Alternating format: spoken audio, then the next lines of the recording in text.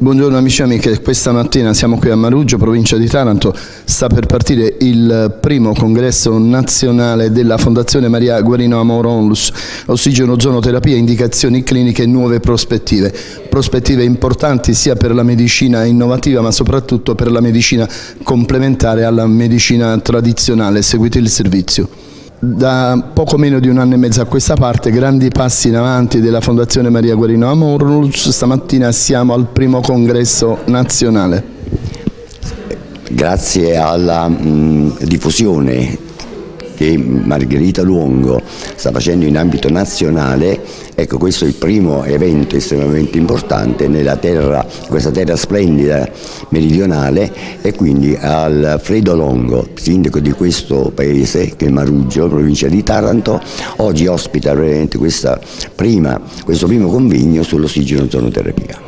Siamo in compagnia della dottoressa Luongo, vicepresidente della Fondazione Maria Guarina Moronlus Ma Deus ex machina di questo straordinario evento di stamattina, una corsa in avanti della Fondazione a meno di un anno e mezzo dalla nascita, siamo già al primo congresso nazionale, dottoressa.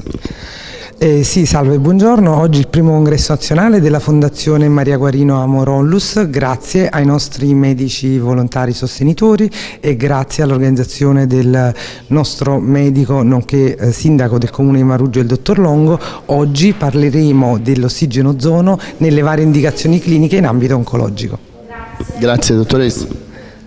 Buona giornata. Stamattina parte il primo congresso nazionale Amor Onlus, un eh, titolo importante, un tema ancora più importante. Sì, infatti i temi che verranno trattati sono di attualità, nello specifico il mio tema riguarda un po' il danno cardiovascolare e il trattamento con l'ozonoterapia, che, con i risultati che si possono raggiungere e chiaramente anche con quelli che sono i meccanismi che possono sottolineare sia il danno e l'effetto benefico dell'ozonoterapia. Professore, Ossigeno ozono o terapie cliniche? L'ozonoterapia oggi è usata in moltissimi campi, in campo oncologico cominciano a esserci delle prime evidenze di una certa efficacia, ma soprattutto in campo del dolore, dolore neuropatico, dolore infiammatorio, varie patologie degenerative croniche, quindi moltissimi sono gli ambiti. È una bella cosa la fondazione che Carlo Lunga ha fondato intorno al, anche al nome di Maria Guarino, che ho conosciuto un'amica carissima e sicuramente vedo che sta progredendo velocemente trovando riscontro nella, nelle necessità della popolazione, nei problemi clinici non tanto bene risolti alcune volte dalla medicina classica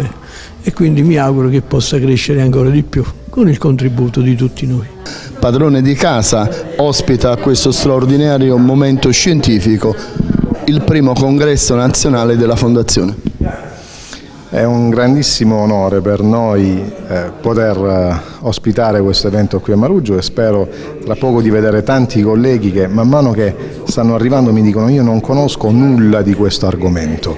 ed effettivamente questo è il motivo principale per il quale eh, grazie al professor Luongo e a Margherita Luongo, il, il Presidente e la Vicepresidente, abbiamo deciso anche di investire in Puglia per far conoscere a molti colleghi, a oncologi, ai medici di medicina generale, ai medici di medicina interna, agli anestesisti, il ruolo dell'ozono in, eh, in, in medicina. Beh, sicuramente l'ossigeno ozono è una, diciamo, una terapia importante perché eh, ci permette di utilizzare una terapia con scarsissimi effetti collaterali e avere un, grosso, un gran numero di effetti positivi per il paziente. L'ozonoterapia è una branca della medicina riconosciuta nelle università, tanto è vero che ci sono dei master e dei corsi di perfezionamento, quindi non è nessuna medicina praticamente alternativa, è una medicina innovativa direi, eh, che permette di utilizzare lo, questo mh, gas che è l'ossigeno ozono per varie patologie, tra cui la terapia del dolore e eventualmente anche altre patologie.